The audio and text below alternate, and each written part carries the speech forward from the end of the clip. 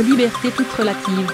Booba et Caris s'étaient battus le mercredi 1er août dans une salle d'embarquement de l'aéroport d'Orly avant d'être arrêtés par les forces de l'ordre.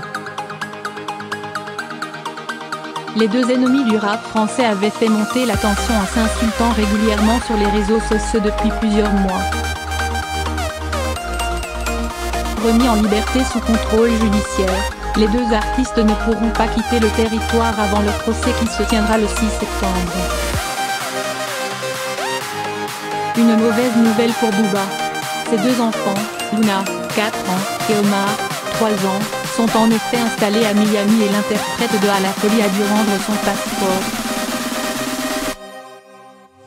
Impossible pour lui de rejoindre ses deux enfants aux États-Unis. Proche de ses enfants derrière son apparence d'éternel clasheur, Booba poste régulièrement des photos d'eux sur les réseaux sociaux et avait confié qu'il estimait être un bon père. Les deux rappeurs seront jugés à la rentrée pour violence aggravée et vol en réunion avec destruction des faits passibles d'une peine allant jusqu'à 10 ans de prison de réclusion criminelle. Une possibilité qui a fait naître un clip mordant de la part de Booba. Quand je serai grand, je voudrais être Benalla ou moine pédophile.